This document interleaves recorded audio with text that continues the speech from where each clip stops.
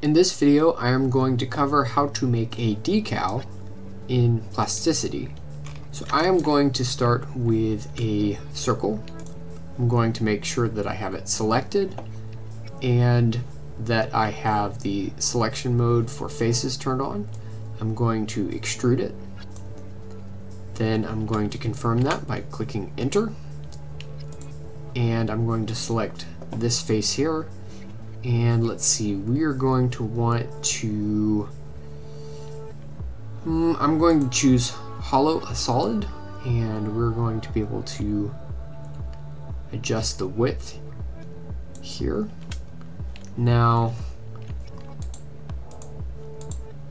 going to click right click in order to confirm. We can use either enter or right click in plasticity to confirm an action. Let's see I want to select this face and click offset curve. And I'm not seeing a handle so I'll just use the distance here and click OK. And extrude this middle section. Going to make it a little bit lower than the edges. We actually could make it match, it wouldn't likely matter in this case. I'm just going to make it a little bit lower. And that completes our basic shape. Now let's make sure that we round our edges. So I'll start here and press D. And I will confirm that. And also do the same here let's see, I might use the G2 method of shaping the edge. So we were able to add a fillet on both of those. I'm not going to bother with the inside.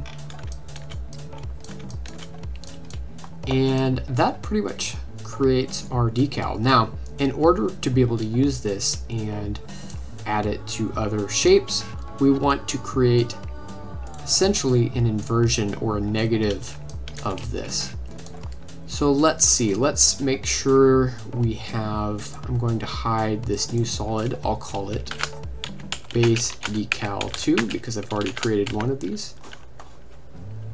Let's fix that.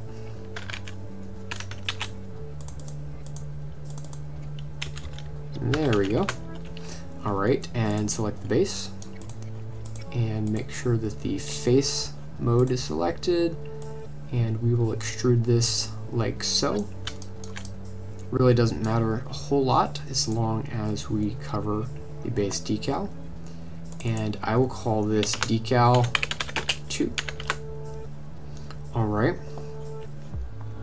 Now I can never remember which order, but uh, what we want to do is create a boolean and this will give us our negative, if you will. So we want to use a difference boolean, and like I said, I can't remember which order we want to go in, so I'm going to experiment. And that was not the right order, so I'm going to start with the decal, and then go to the base decal, and use boolean. I'll press W to make sure that it's using difference, and say OK. And now we have our negative. Alright, so from this point, I'm going to create essentially a base that is really serving just the purpose of showing how this works. Alright, now we want to use the snapping tools to snap this negative onto, onto the uh, sample here. Now I'm going to create a of this decal, I'm going to create a duplicate. And we'll call them both decal 2, it doesn't really matter. This solid will will label example 2. Alright.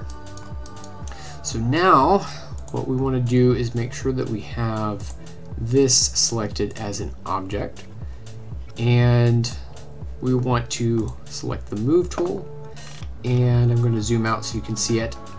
There's a couple different ways to do this. I'll, I'll uh, perhaps have to make a tutorial on snapping.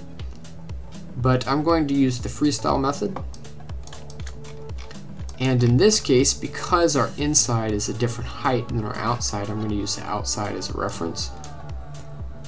And we'll press F, and we can select a point to use as our pivot. And I'm going to make sure that I select this outer edge. And then we can snap our decal, or decal negative rather, to the top of our example.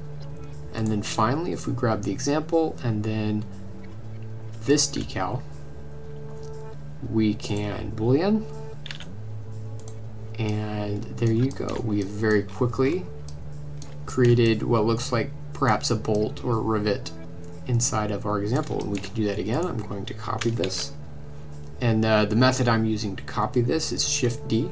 I'm using the Blender set of hotkeys. So I'll label this. And finally, we want to again use the move tool, press F, grab one of these points, and we can pretty much snap this to the top of our example, maybe over here. And then finally grab the example, the decal. Actually, let's see, uh, I want to make sure I'm using shift. We want to make sure that these are separate. I'm, I'm forgetting the rhyme or reason how to select one at a time. Perhaps it looks like pressing control first allows me to, to uh, get these separately.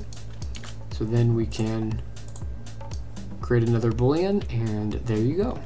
We have successfully made a negative that we can use to create an unlimited amount of decals for our object.